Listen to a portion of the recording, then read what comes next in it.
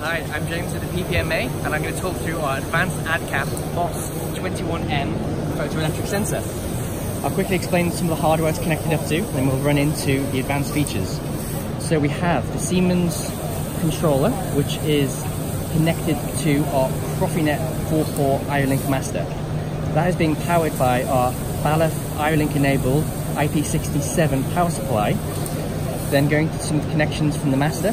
This is powering a BIS-M 13.56 megahertz read-write head, which has been used to change the mode of operation for the ADCAP sensor through differently coded RFID tags.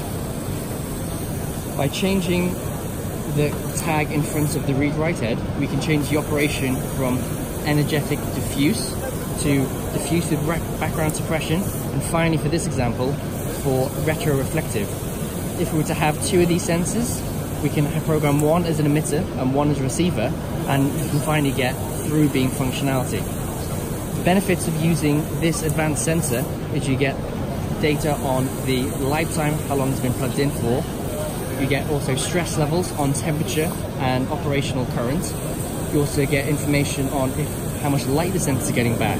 So if the lens is dirty and needs cleaning or is misaligned, then the operator or maintenance manager or any engineer will easily be able to get into the advanced diagnostics and more intelligent features of the sensor. Similarly, with power supply, we also have other diagnostic features built in, such as stress level, performance on um, lifetime, how long it's been plugged in for, temperature, and also supply voltage changes.